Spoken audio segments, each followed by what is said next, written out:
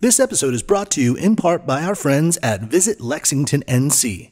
To learn more about Lexington, go to visitlexingtonnc.com or click the link in our show notes.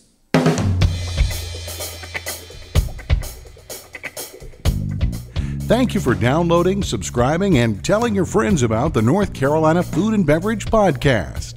This episode is sponsored in part by Blue Shark Vodka, all the taste without the bite. Blue Shark Vodka coming out of Wilmington, North Carolina. And by Spot On, tech that helps your business grow, coming to you from the kitchen studios in downtown Raleigh.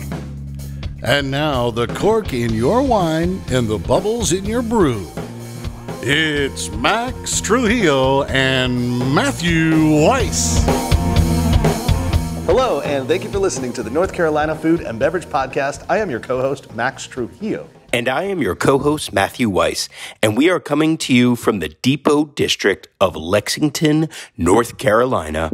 And we are at the center of the community, the Goose and the Monkey Brew House. And to tell us all about it and how it came together is Ashlee and Brent Moore. Well, hey, thank you. Hello. Hello, thank you for being on our show. Thank you for bringing us into the space.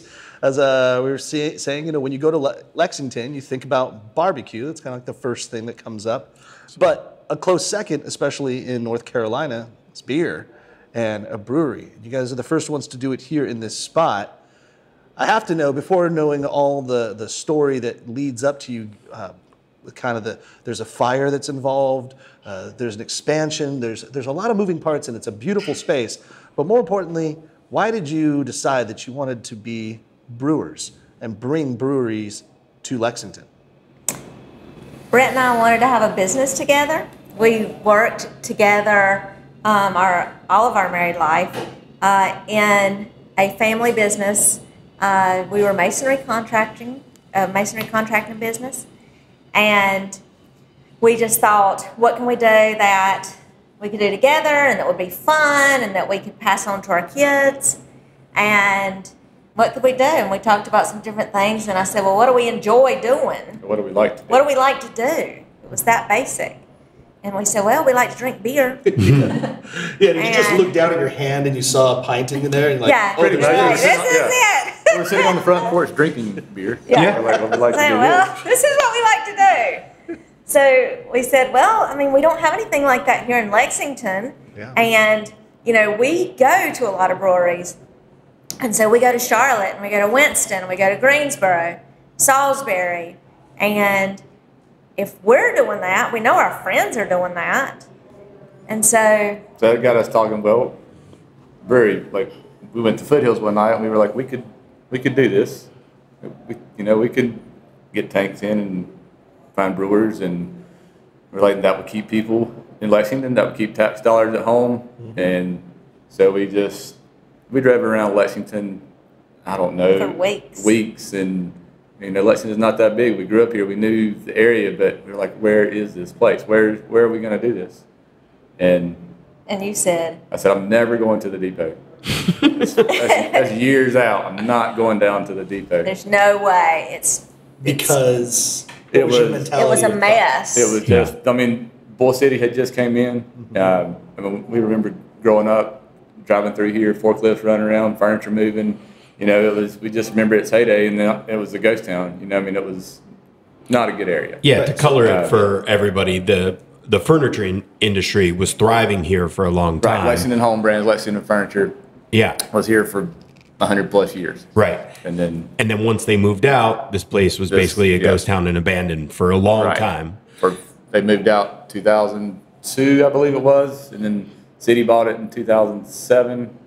And Talk about foresight. I cannot believe that the city bought the whole area for this time. Right. And that was so long ago. right. And um, Wayne Alley, who was still on the city council, I mean, he was one of the ones that had the vision for this, and he did not get to come in before COVID, so we were only open a few days. But he recently came in and he called me and he was like, "You guys nailed it." He was like, "That's exactly what I wanted. You know, was to see these build, you know, the, the buildings come back to life."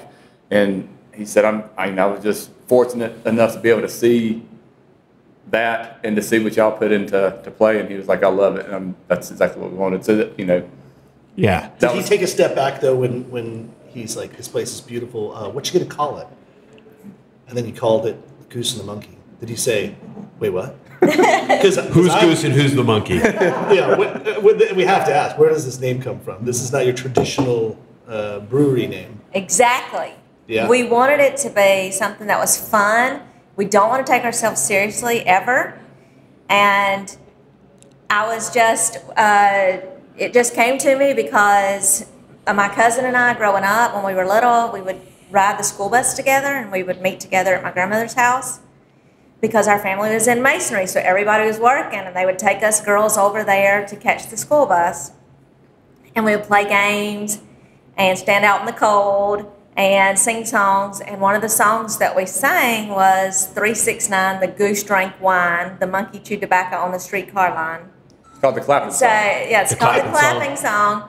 And so we just, it just always stuck with me that, Robin, It will you just please seems give us a, silly a and rendition fun. of this? You know this song. yeah. I do know that. song. Yeah. and so I just, I just thought it was funny. And they, you know, I see the acronym for your shirt, the G, uh, or the GmbH, and I just like through like dyslexia or whatever, I think of it, and I just keep thinking G flat minor. It looks like a chord. Like It does. I've never thought about that. I always think of it that way. Every time I see it, I'm like, what is it? It's like a music reference, and I'm like, oh no, that's the Goose and the Monkey Brew House. Yeah, right. That's cool. So, okay, you two didn't, other than just consuming beer, more you were doing masonry, you were, you were working, and through the love of it, you just said, well, yeah, we can find people that know how to do it, Right. and we can go through there.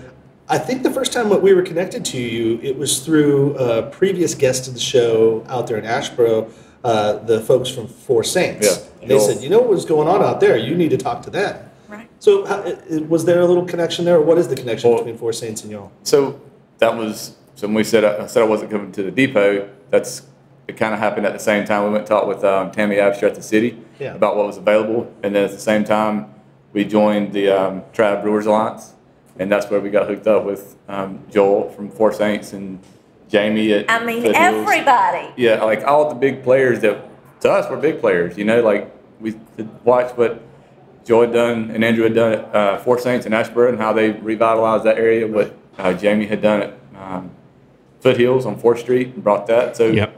you know, all this was kind of happening. We were like, we're getting schooled without having to go to school because these guys have pretty much taken us under their wing and like, you know, Any question we have. they anything we had, they were an open book. You know, it wasn't like they were just not telling us stuff. They were helping us out, you know, on the equipment, like just giving us ideas and suggestions on what to do. And so, I mean, it was really, when we look back at it, kind of mind blowing to us because we, they didn't know us from Adam, you know, like Yeah.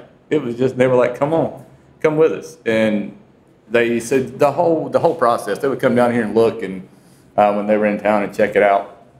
So it was, uh, I mean, that was a huge blessing for us. So it's a, then we got with the city, went talked to them. They were like, this building, John Clowney with Bull City Cider Works met us down here and he was like, yeah, y'all, I need to go look at that building. And so the first time we walked in, it was dark, wet, bugs, nasty, a little scary. Steps were caving in. You couldn't step Yeah. on anything. Yeah, Uh, However, but the bones were good. the bones were We good, knew and, that, and we knew that. we knew Mason and we were like, looked at, it, we were like, this we is were a, like, oh yeah, we gotta this get is this building. great. yeah, you were around brick. You felt like you were at home. Yeah. yeah. Right. we were like, this is it. I want to set the scene for people because as is is an audio medium, people can't see this. And you walk up in this depot district, and this beautiful building. You got uh, floor to ceiling windows and a really cool garage door that's all glass, uh, red brick all, everywhere on the outside, and it's visually pretty awesome Yeah, here. like, it looks If, if you were in uh, Durham, like the Golden Belt campus, maybe like Mm-hmm. big brick buildings, large format building, it's kind of like that industrial, Right. but but hip industrial, but like cool, yeah, with huge garage doors and open framing. You can see all your air ducts and everything. But then, like here, we're and we'll get into this in a little moment, but we're in like a smaller room inside of the whole space just for uh, so we can do a podcast. But inside here, I'm looking at a massive drum roaster, coffee roaster, and that's a whole other thing that we can get into at some point. But it's a complex space. You have food trucks. Right now, we're watching. Uh, you get a you got a big event apparently happening out here later on, and there are video games and pinball machines and all this being installed for this event. It it just sounds fun. Like you, you guys are bringing a lot of color, a lot of life to the community, and and all the while some delicious beer. By the way, they can't go unnoticed. You brought us a little beer right here. What am I drinking? Drinking the Wandering Pig. It's our Honorary Pig, one Wandering Pig. Wandering. Wondering pig. Am I drinking the same? You're drinking the Yeah, same. it's- Actually, drinking the Lexington Late Lager, the L cubed. The Wandering Pig, pig is So- a uh, hazy IPA. Yes. this is delicious. Yeah, it's delicious. Okay, what? Uh, how long did it take for you to quit your day jobs? COVID.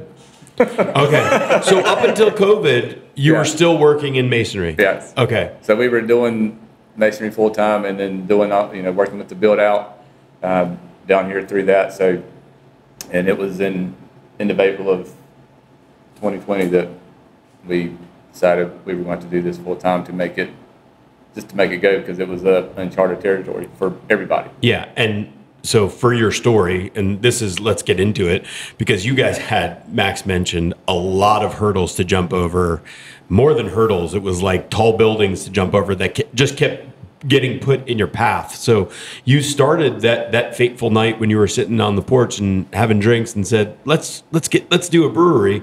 Was what? That was 2016. That was 2016. Yeah. And so, um, fast forward, got uh, talking with the city. That's when we, we signed the lease on this building in February of 2017 and started knocking out windows um, so that we could have some light downstairs.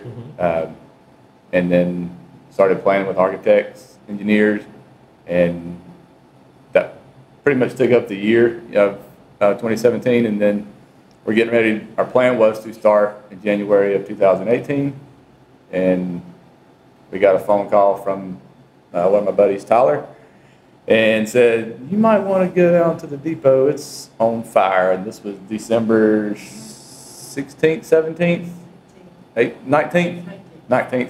Um, I can't believe I even forget the date, but um, of 2017, we came down here and The it whole was town was on fire. it was crazy. Um, Wow. Do we know what what caused the fire? This episode is sponsored in part by Blue Shark Vodka. All the taste without the bite. Blue Shark Vodka, coming out of Wilmington, North Carolina. that uh, Blue Shark Vodka. Boom. We're proud to have them as our new title sponsor, and they're made with non-GMO, heirloom variety North Carolina sweet corn, distilled four times into perfection. They do triple filtration, which makes the vodka extremely smooth, clean finish, and it makes that alcohol bite nearly vanish. Yep, they're Blue Shark Vodka, the shark that doesn't bite. Check out Blue Shark Vodka at bluesharkvodka.com. we talk to all types of entrepreneurs, restaurateurs on this podcast, and some of them are making innovative new tacos or salsas, and they're perfecting the classic brisket, but they are all working to turn that love of food into a business, and that's often the bigger challenge. Our newest sponsor is here to help. Spot On works with popular local restaurants like the Ruddy Duck Tavern and the Village Market in eastern North Carolina, getting them set up with new technology they need to stay competitive in this industry. It's the kind of tech that the chain down the street is already using, but made specifically for you. Such as a cloud based point of sale system that not only takes orders and payments, but also ties in online ordering to takeout and delivery. Then it breaks down all the data so you can tweak your menu or set your staff schedule. From fine dining to food trucks, Spot On's integrated restaurant management system can help make running a restaurant less stressful and more successful. And you can get this end to end solution built specifically for your needs by a real person, Tanya Maniwo. She's a local Spot On account executive and she'll be your partner the whole step of the way. Give her a call, 858 213 7820. That's Tanya M at spoton.com. And Joe Van Gogh Coffee, serving the community from seed to cup, taking particular care at every step to honor the bean. This is Joe Van Gogh's organic Mexican Grapos Reserve, which is really delicious. The Grapos Co op was created in 2007 and made a tremendous impact uh, for the small traditional farmers by creating avenues and resources to get their harvest not only in the market but certified, which allowed them to be competitive in the marketplace in international marketplaces. And it has gone from the initial producers of 90 to well over 2,700 members. What we're going to drink here has flavor notes of graham cracker, apricot, and tamarind, which sounds so awesome. Kind of high altitude coffee coming in around 1600 to 1800 feet uh, above sea level. The varieties cultivars are bourbon, Tipica, and maracea. This is luxurious living. So go to joevangoghcoffee.com. Check out their locations. They have them in Hillsborough, Durham, Raleigh, in the neighboring areas as well. You can find out more information about them at joevango.com. Do we know what, what caused the fire? But That's the still up for question. discussion. That's it. But the, but the point is is that the because it was an old furniture buildings, there's a lot of flammable ma- Right. material. But but in in And- that chaos and horrific times, there's pretty cool things about what the fire chief did for your building and and those doors that you have out. Yeah, so we, um, there was a building that at the time was connected to our building. There was two, two openings um, that led to that building. And so that night, the fire chief, you know, he was like, is there anything blocking these openings? I said, no, you can, you know, it's accessible, you can get in there. And he said, where are the fire doors? So it was the mayor, the city manager, assistant city manager, Ashlee and I, we were all, you know, huddled around iPhones, like trying to look at where these openings were at. Meanwhile, And the fires are the raging fire and they're trying to put it out. And they're trying to get out. There's fire trucks dumping water on our building. There's fire trucks across the railroad tracks from us dumping water back this way. I mean, it was there was fire trucks out on the Bull City end of our building. I mean, they were just, they were They everywhere were trying to do everything they could to save To this save area down here. this end of Bull City and our end of the, the block. So he came in. There was two fire doors that were left that had not been damaged by the fire, and he got them shut that night. And so we talked about, hey, that would be kind of cool if we could get those doors out before demolition occurs and use them in our build out. Yeah. And so But hold on, Okay. because you, you put those fires there, and they did the, the fire doors there. They did their job. They did They job, they, pr- they right. stopped the fire and protected your building. they saved our building and him, the fire chief at the time, uh, Chief Hartley, and another fireman, they came in and, and did that. I mean, you know, I think that's pretty heroic and pretty crazy because there was nothing in this building. I mean, it, this building could have went away. Right. Like, we didn't have anything in here. Um, but they did that and at that night, we didn't know.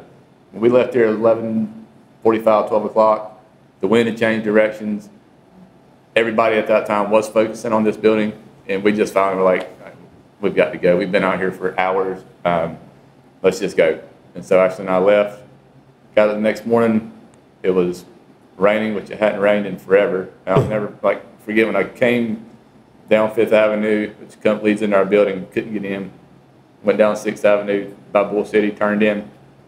Transfer trucks are in the way pulled around the corner and I saw the building. I was like, you got to be kidding. Like, I was not expecting to see it. And then when I walked around and saw where they stopped the fire, I was totally shocked and amazed because it was right there at us. We'll And- get some pictures so those that are following along can look on our Instagram feed with this episode when it comes out. But you have some photos on the wall to kind of commemorate these things. This fire was massive.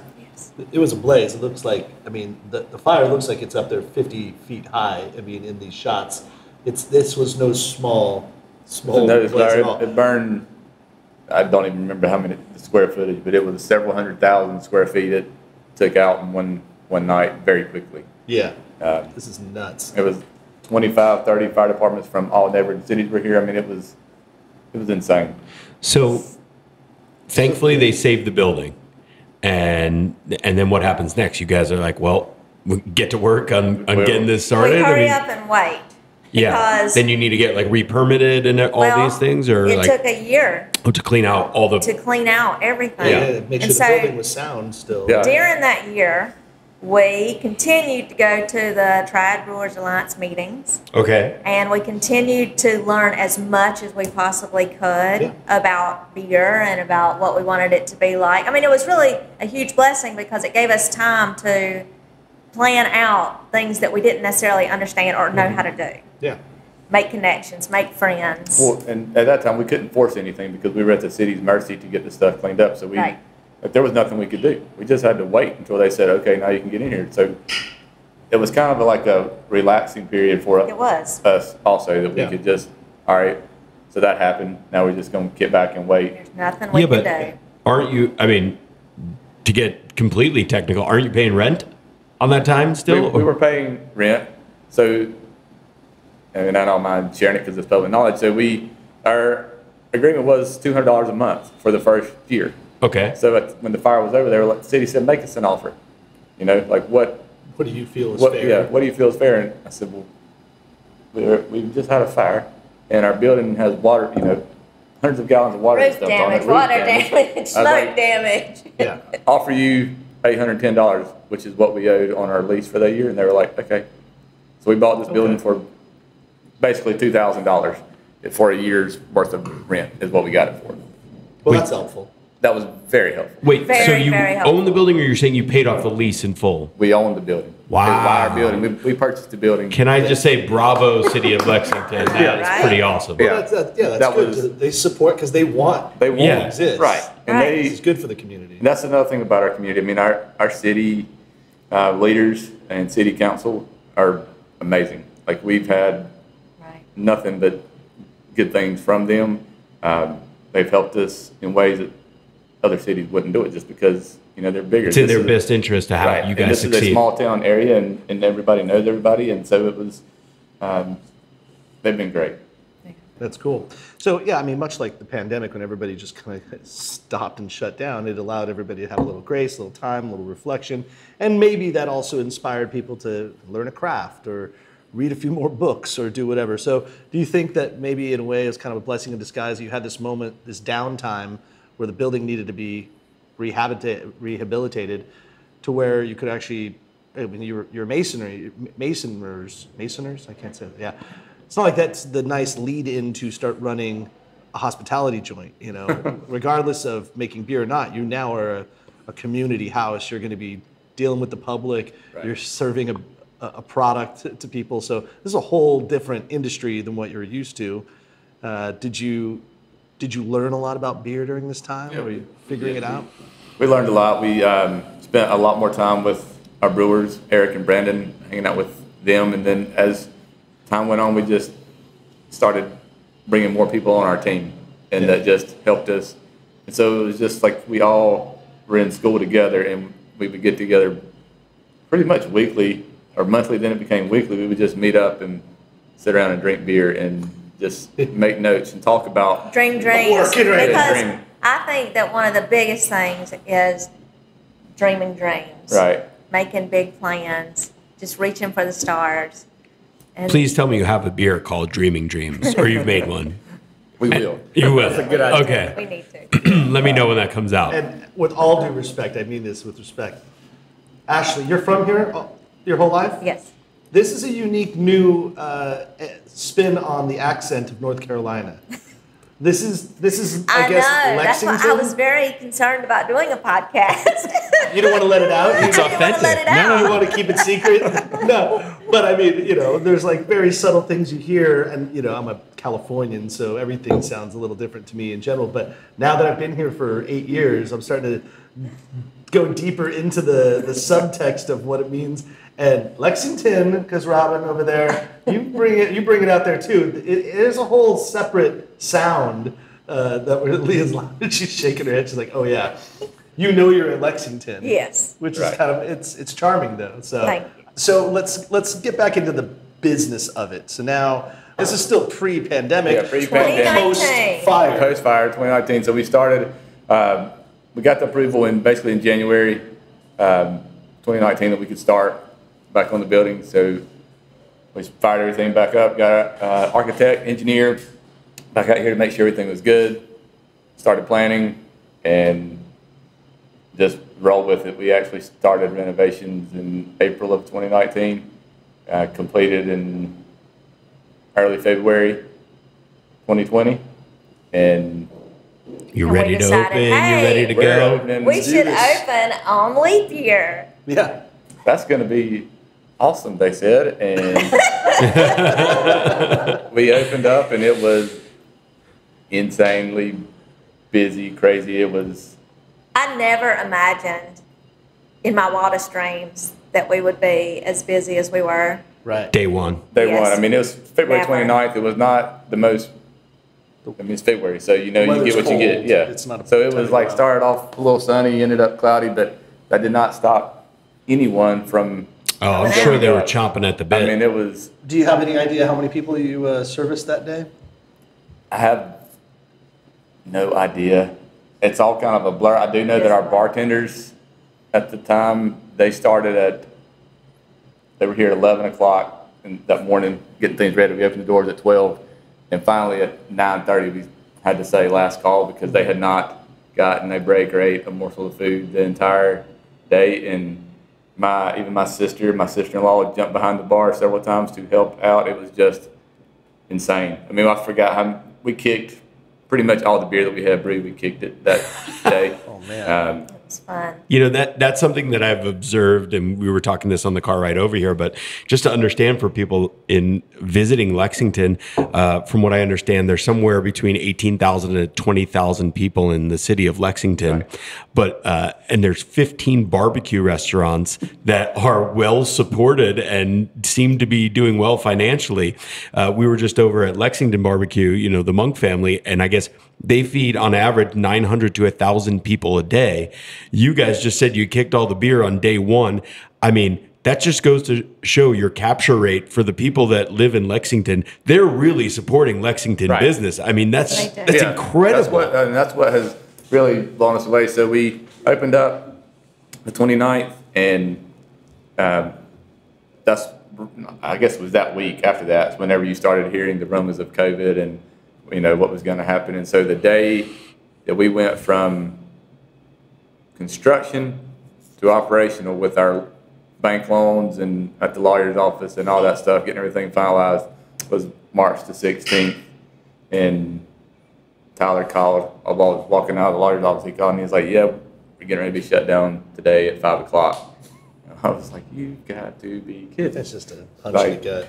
Two, What- what two this? weeks. So we were open, and this, you know, business had already Shut down. started dwindling because of that. You know, people were Right, scared people- and yeah. not coming out. And, um, so then we were like, well, we had all of our tanks, four tanks, and We're full with tank. brand new beers that no one had ever tasted before, and even you know beers that people don't even drink very often, except in craft We were just trying to introduce. Well, Some I have new to imagine styles. that you looked at the brewers after opening day and and kicking these beers. You're like, we got to get to work. I mean, it was so like we need to make a lot more beer, Right, so you're we making just- this beer Yeah. to inevitably be shut down again. So now you're. And so that's what we were. We were like, well, here we are again. We have the opposite. we have too much beer and nobody. Right. you know, what are we going to do? And we, we had talked to our manager, you know, right when we opened and said, okay, so when do you think we could start canning some beer? And he said, oh, no, we need to wait until we can get our product, you know,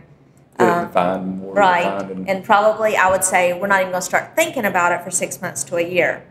Well, then whenever we got shut down and we could not even have people come into the building, we had to, uh, we put up a storefront out of one of the garage doors and we said, we've got to, we have no way to get our product out. Yeah. We've got to figure out how to can now. Mm. And so we put all of our energy into trying to figure out how to do that. And there was one purchase that we had made right before we opened, and that was a crowler machine, one crowler machine. Oh, Thank goodness. Yeah. Thank goodness. that joker paid for itself. yes, Yeah. it did. Because that's how we did it. We made Because crowler one by one, one thing just one can at a time. Your house is probably the most valuable asset you own. But think about it. How much time do you spend taking care of it day to day? Enter Exhale, where you get a dedicated home manager who takes the time to understand your home's unique needs and ensures cleaning, maintenance, and inspections are taken care of. And if you need help with repair or improvement, Exhale will handle that too. Visit exhaleathome.com to learn more and book a consultation. We'll take it from here. Triangle Wine Company, locally owned and operated. Triangle Wine Company is committed to creating the best shopping experience in fine wine and craft beer. Hi, this is Nikki with Triangle Wine Company. Wanted to let you know we have an upcoming farm to table wine dinner at our Cary location on September the 15th from 6:30 to 8:30. Tickets are $65 per person. Get all the details and your tickets at trianglewineco.com.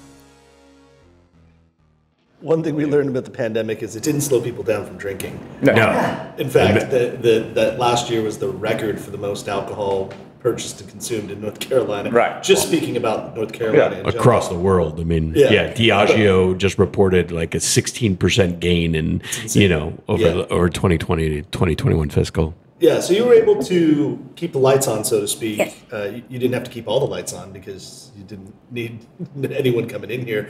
But you effectively just turned into like a retail shop at some point, Yeah, right? we just so that's we just set up to go, and we just opened. We just so we met. We are like, what are we going to do? How are we going to do this? We said we're going to open seven days a week, twelve to six. That's what we're going to do. And um, the community. I mean, people would walk up and be like, I want to buy a bar stool. I'll buy a table. I'll buy whatever I can buy. I want to support you, or just here's you know ten bucks. You know, Right. They just wanted to. They're, we can't believe that this has happened.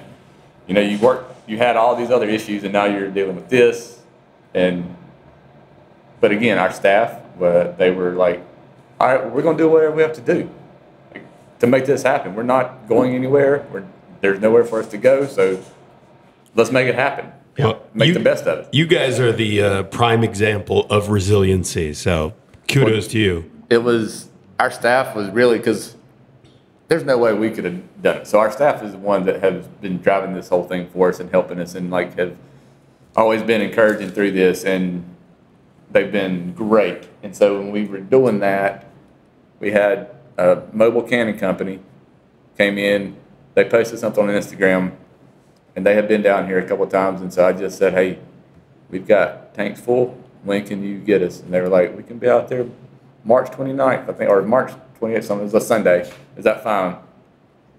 Yeah, it's the only spot you got. It's good. Let's rock it out. We had no labels. We had nothing. We didn't even know how to make a label. Right. Like, you know, we didn't, we had not, that was not on our radar.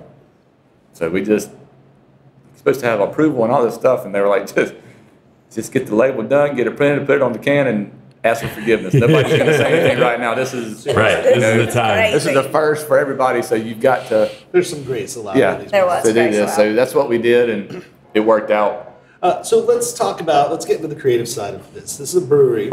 When you make a brewery, you have to kind of think like, what are we going to do? What kind of beer are we going to be? What kind of image are we going to be to this community? What is what's the service? So in your in your words, what type of brewery is this brewery? Uh, flavor profile and all. What are you thinking? Um, they, our brewers are more of the German style, um, but then that's what they were when they're home brewing. When they came here, we just kind of told them just to get funky with it. Like, do your own thing. Try some different things that you wouldn't normally try home brewing or the other brewers, you know, are not necessarily doing. And, you know, for example, our Lexington Late Lager, it's just they, there's nothing special about it, but that's what people in Lexington like. You know, they would come in, I want something that tastes like Bud Light, Michelob Ultra. Yeah. Here you go. This is your cool, This is your Crushable. Right. Yeah. One of the things they said that helped them is they had 10 years of home brewing, and they said they made beer for family and friends, Mm-hmm. and they had to figure out what they could make that everyone would like. that was So they worked on that hard for 10 years. Yeah. to And make so it smooth and to make it crisp and- smooth, yeah. and not have a, people like it, but not to be you know always have that bitter taste at the end like some places that's their thing. So they just they've done really well and they're not afraid to try new things. They're not afraid to experiment to do things. If we anything we suggest, they're like, okay, we'll try it. You know, Yeah. some, some some stuff they're like, I know, So- that's not happening. And and size wise, you guys have a 10 barrel system, Yes. right?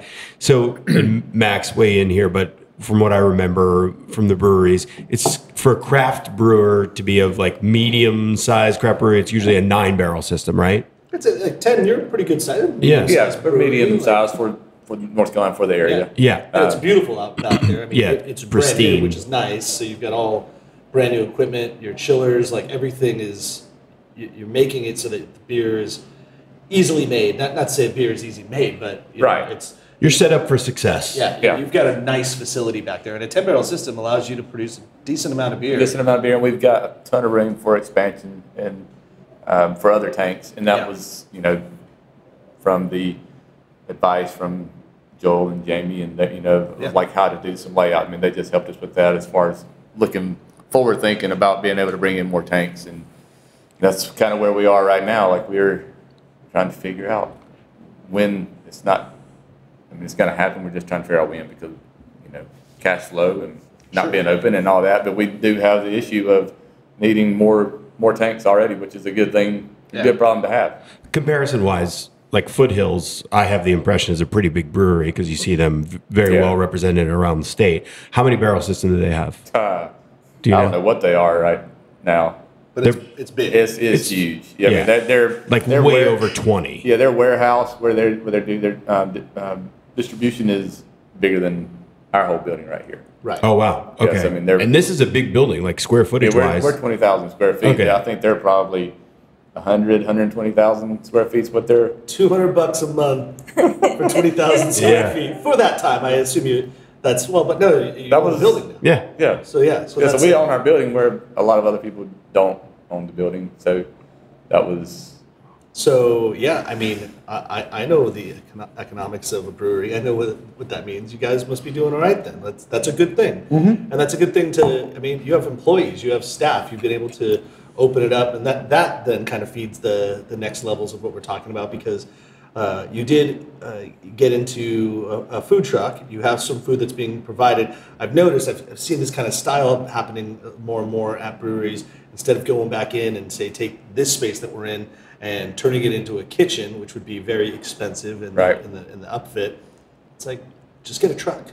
And the truck could just be isolated on its own, act, work on its own, and then you don't have to do any modifications to the building. And then, and obviously, then the truck can be mobile if needed. But really, I assume that the truck is more stationary here. Yes, more for here. So that's um, when we were in the middle of the shutdown. We were only open from two to nine, and that was in uh, January of this year. And we are like, what can we do, you know, to expand our hours?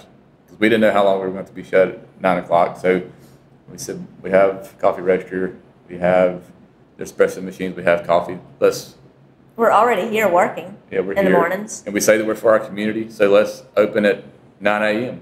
Yeah. And so we started doing that, and we were like at the same time talking about. And we also invited people to come in and do work and school, Yeah.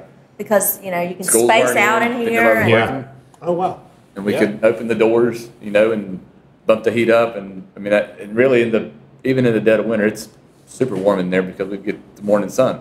And so it's super nice and comfortable. And so we, had a friend that we had talked to last year about the food truck, and it just wasn't the right time. You know, we were trying to open, and um, so she came back to us again, and she was like, "Look, I've got to get move this truck. Do you want it?" She made us an offer we couldn't refuse.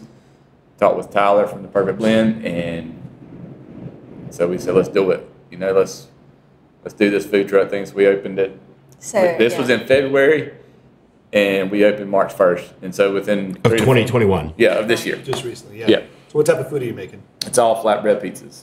Yeah. Well, So- that goes well with, with beer. Yeah. So nice job. Yeah, and you're not going to do barbecue. we Yeah. have a barbecue pizza. Oh, you do? Oh, there you go. Hey. Okay, yeah, yeah, that's good. Um, and then now, and we're in in a, a sub room from the whole space. And this is a, a, a pretty beautiful coffee roasting company that you just mentioned. So speak to us a little bit more about that. How did that come to be? Our friend Tyler and Madison Pravat, they owned a place, and they still own a place uptown called Perfect Blend Roastery, and they were needing to expand, and we were all friends. And so whenever we started building this space, we were like, "Why don't you come down here, and we'll just put you in here too?" And Yeah. and for him to what goes better than together than coffee and beer? I mean, those are my two favorite things. Me too. So. Yeah. And so then you throw in the, pe- the food truck, and so coffee, beer, and pizza. And I know. Nobody really- needs to go anywhere No, you don't else. to go anywhere. else. So, Yeah. And and there, yeah, the food truck was um, for it to stay here so that we can have a lunch option, so that we could be open and serve lunch from 11 to 2 Monday through Saturday. And then to use it as fill-ins if other food trucks, you know, couldn't make it for whatever reason, um, we would have one that we could, you know, roll in place and not be down because that's, I mean, that's a huge draw is to go out to breweries and food trucks and Mm-hmm. you know, that's one of the things that We take our kids to a lot of, uh, and have taken them to a lot of breweries, and they, I mean, we need to have food too. In fact, that's a, that's a deciding factor a lot of times for us to go to a brewery is, well, do they have anything to eat? Do they have a food truck?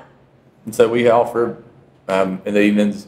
We have other food trucks that come in, and um, back in August of last year, we kind of um, partnered up with Medley Food Truck, and so they're here um, most Thursday through Saturday. They're on site every night, and his menus changes up uh, week, uh, weekly or every two weeks, and so that's been a good consistent thing for him and for us because Yeah. we know that I mean he's very dependable. He's always here. Um, Everyone loves his food. Right. So we're that's been good, and then we also have like you know the Lobster Dogs and Cousins of Maine and some taco trucks, and so it's all the time it's changing. Well, that cousin's uh, food truck is a is a big draw. Yeah, that's a huge draw.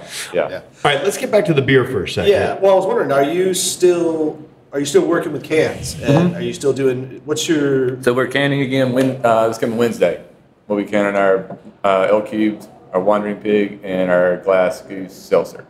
So what's your distribution take now? What, what are you looking to expand? Are you looking to like? Are we going to see some Goose and the Monkey in the Triangle? Or are you going to?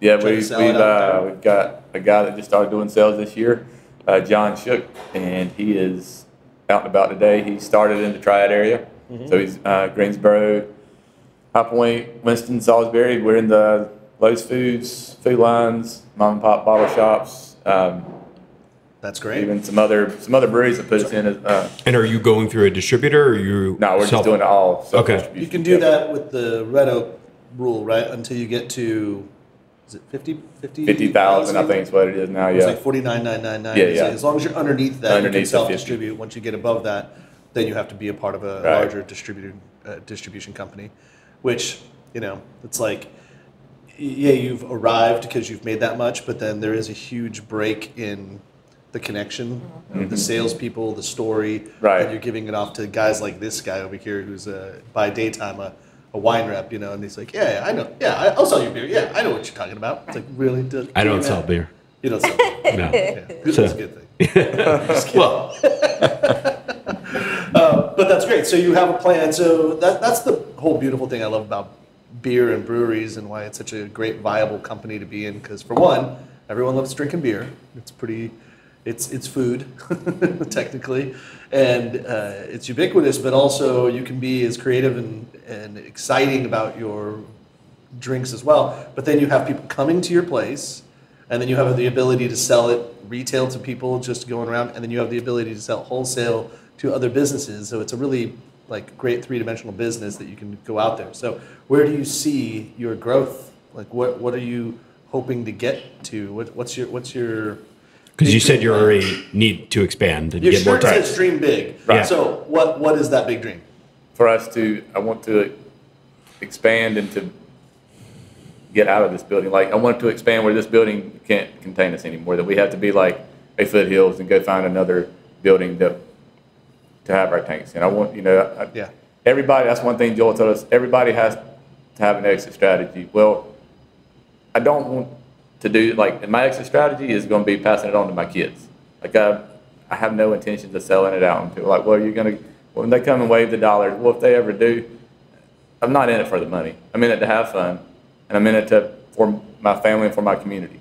I mean, that's I grew up with my family, and then once we got married with her family, like to work. You know, like nothing has, was ever given to us. Everything we've got, we worked for. So, you know, Let me get, let me hook you up with the guys from Wicked Weed and tell you. What, well, I, that's the whole thing. They were in the money anyway. Yeah. Yeah, but they, I mean, but also even Appalachian Brewing, uh, Mountain Brewing, we're all part of that CBA, uh, Right. That smaller uh, consortium that then was bought by Anheuser Busch, that then gave you all the improvements that you needed to make, and they were the ones that funded to do all of that. all of that. And they're still making their beer. And the best part for for that scenario is Anheuser Busch doesn't want to tell you how to do your business. They're like, no, no, no, we bought you because we know it's a viable company to do that. So continue doing what you're doing. What do you need? 40 more tanks? Cool, done. is that what you need? What else do you want? Because we're going to make money off of you. We want you to grow. and we learned too that it's not always green on the other side, you know. Yeah. And I just feel like for us as a husband and wife, we feel like that all these people that we have working for us are our family also, and so it's I don't know. We just don't want to do that, and money's not everything. I've I've been down that road in my younger years with past history with my parents, and it's just not a doesn't end well. Yeah, you want So- it to be yours. I want it to be mine. So I want to ask you this: uh, if I'm visiting Lexington and I have time for three beers or a beer sampler, and you want me to know Goose and the Monkey and go tell it to when I go back to Charlotte or when I go even to other states, what what beers would you give me? I'd give you the L Cube, the Lexington Light Lager, Wandering Pig, our seltzer, and then one of our sours. Yeah. Oh, he went So over. be four. You you went to four. I don't know if I have room for four. That's No, a flight. that's all right. You give me a seltzer. flight. Yeah, That's our flight. That's our flight forwards. that's your flight. Seltzers, though, Okay. that's I mean that's a huge industry now, right? I Yeah. Mean, I kidded around with Greg, who's the brewer over at Wye Hill, and we told him we needed him to. I was consulting there, and it was like, you know, you need to make a seltzer. Is I don't want to make any friggin' seltzers, Truly's, White Claws, those are gross. I'm like, yeah, because that that's that industry. But when a craft brewer such as yourself wants to start making it, you can make it delicious. And it He's is. like, Damn you! It is different. Yeah. Yeah, you and can it make is a very delicious, delicious. seltzer. Yes. So yeah. And- so what, what's the flavor profile of your seltzer? Uh, one we have on tap right now is the mixed berry, and what we're getting ready to can on Wednesday is the Raspberry. ra- is raspberry. And What's your So- active alcohol ingredient in there? How are you making it? Uh, like, is it ma- like I, when we were making it, we were making it with Everclear. No, we're we are it's uh You're brewing, we're brewing. It's got it's Like a different kind of yeast. Yeah, it's a different kind of yeast and sugar. yeah. So Okay, so you're doing it naturally. naturally, it's, Yeah, we're not. spiking ours. And the, whatever fruit we're doing, it's coming. We're getting it from like uh, Oregon fruit. You know, we're using either puree or we're um, they can find something decent. But right now, it's just like everything else in other parts. Materials are hard to come by Yeah. on certain things like that. yeah. Do you work with California malt, like or, or, or California, sorry, Carolina, malt? Yeah, yeah, Yeah. And that's what we're trying to get our um, L Cube to be all North Carolina sourced. That's and so that's what we're, that's like our first beer that we're rolling to, and I think we're almost there. Hops So- traditionally are not going to be grown here in North Carolina. Right. Just it's That's- not really a commodity that's grown out in this area. But aside from that, it's nice that you can Yeah, do all the other sourcing locally. yeah, it is, they've been really great to work with. I mean, they've really given every, you call them and they're like, oh, well, I can run that over to you. Yeah. That's pretty awesome. You know, and you're not having to, to wait and it's there within an hour. Is the hops supply like everything else gone up in price and lower mm-hmm. or demand has risen and supply is Yes. less? Yeah. Like if you, we see it, we, we better be ready to purchase right then because if you don't, it's, might not be there in an hour or two hours, you know, when you go back to right. So, make the payment. so has that supply chain changed what beers you guys are making or doing? It just all? made us be smarter about when we purchase. Okay. To go ahead and purchase In- more, like, so yeah. it improved our forecasting too. So that, I mean, that's been some of the good stuff about COVID. It has taught us a lot of things that we didn't really, we knew, it made us do it. Like, Right. all right, we got to forecast further out than what we've been doing or what we're going to do. So that we just don't have a knee jerk reaction. We actually plan. Right, and you know, we're needing to buy, but, so if we buy our malt, we're buying it for X number of brews now instead of just like for two or three, we're just going ahead and getting several pallets in at a time and doing what we need. Same thing with the hops, we're just trying to, to forecast and have it in and.